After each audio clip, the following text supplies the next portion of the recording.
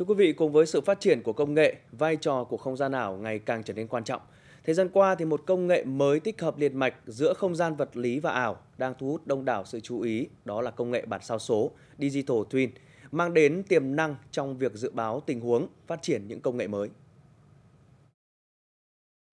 Công nghệ bản sao số là bản sao kỹ thuật số ảo của một vật thể hay mô hình trên thực tế, cho phép thử nghiệm các ý tưởng mới, phát hiện ra các vấn đề trước khi chúng xảy ra. Tại Việt Nam, một trong những ứng dụng nổi bật của công nghệ bản sao số đó là xây dựng các mô hình du lịch ảo với sự kết hợp của ba sản phẩm công nghệ cốt lõi là Map 4D, công nghệ thực tế ảo 3D Tour và Sa bàn ảo. Đà Nẵng là một trong những địa phương tiên phong thực hiện giải pháp này.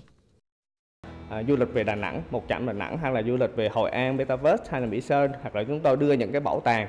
à, những cái khu triển lãm lên trên môi trường này thì tạo ra một cái việc này giúp cho khách tham quan từ xa có thể à, trải nghiệm được cái cái điểm đó từ xa và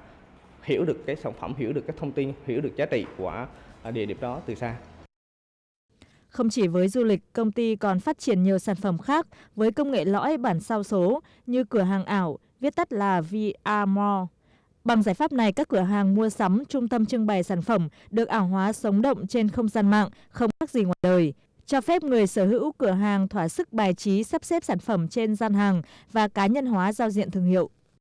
Khá là hài lòng khi mà sử dụng qua cái ứng dụng mô hình này. Khách hàng có thể nhìn thấy được trực tiếp sản phẩm và có cảm giác là mình đang trải nghiệm sản phẩm thật sự. Tương lai gần đó bên em đang định hướng là sẽ dựng thêm một cái gian hàng ảo nữa cho cái ngành gốm sứ có thể thấy công nghệ bản sao số đã và đang mang lại rất nhiều lợi ích trong nhiều lĩnh vực của đời sống. Quan trọng hơn nó giúp xóa nhòa khoảng cách về sự tiếp cận giữa thành thị và nông thôn, về địa lý, khoảng cách giữa các quốc gia tiên tiến và các nước đang phát triển.